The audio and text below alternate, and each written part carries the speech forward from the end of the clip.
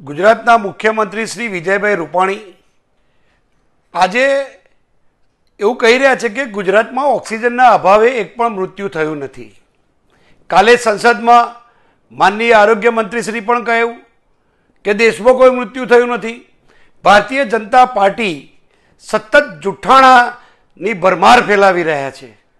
હું બહુ સ્પષ્ટ રીતે કહેવા માગું છું, ગુજરાતના મુખ્યમંત્રી વારે ઘડીએ કેન્દ્રની હોડમાં કેમ જુઠ્ઠું બોલે છે એ સમજાતું નથી?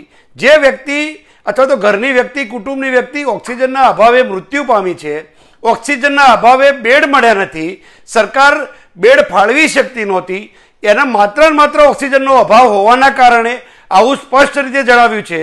હું આપણા માધ્યમથી દિવ્ય ભાસ્કરનું આઠ મેનું છાપાની ફ્રન્ટ લાઇનમાં હેડલાઇનમાં સ્પષ્ટ રીતે બતાવે છે કે ગુજરાત સરકારના મુખ્ય સચિવ શ્રી અનિલ મુકીમે છવ્વીસ મેના રોજ ભારત સરકારને જે કેન્દ્રીય ગૃહ સચિવ શ્રી ભલ્લાને લખેલા પત્રના ઉલ્લેખ કરી, એ પત્ર સહિત સુપ્રીમ કોર્ટમાં સોગંદનામું કર્યું છે અને એ સોગંદનામામાં સ્પષ્ટ કહ્યું છે કે અમારે આઠ મેથી પંદર મે સુધી અમારી ઓક્સિજનની જરૂરિયાત ચૌદસોથી સોળસો મેટ્રિક ટન સુધીની જરૂરિયાત છે.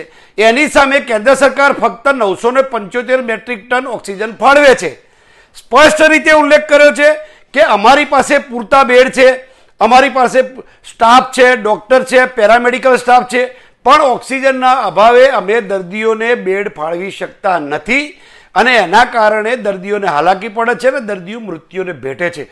આવું ગુજરાત રાજ્યના મુખ્ય સચિવે, ગુજરાત સરકાર વતી સુપ્રીમ કોર્ટમાં ભલ્લાના પત્રનો ઉલ્લેખ કરી અને ભલ્લાનો પત્ર સ્પષ્ટ મૂક્યો છે અને જણાવ્યું છે. અને બીજું કહું કે ઓક્સિજનના અભાવે એ વખતે આઠથી પંદર મે જ્યારે પીક પર હતો કોરોનાને બીજી લહેર મૃત્યુમાં જ્યારે મહામારી સર્જાઈ હતી, એવા સમયે અગિયાર હજાર પાંચસો બેડ માત્ર ઓક્સિજનના અભાવે ખાલી હતા.